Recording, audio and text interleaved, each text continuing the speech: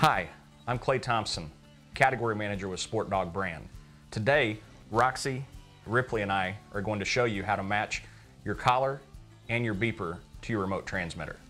The three components of the SportDOG brand, Upland Hunter 1875, the transmitter, the collar, and the remote beeper are pre-programmed at the factory to work together.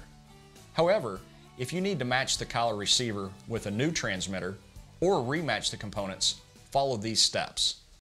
Turn the collar receiver and beeper off. Press and hold the on-off button for each.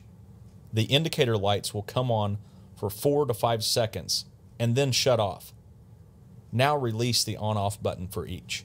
Press and hold the upper button on the remote transmitter until the collar receiver and beeper indicator lights flash 5 times. If the lights do not flash, you will need to repeat these steps.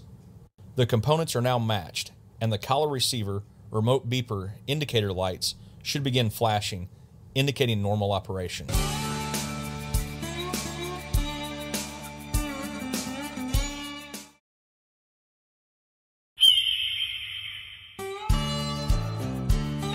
Hi, I'm Clay Thompson,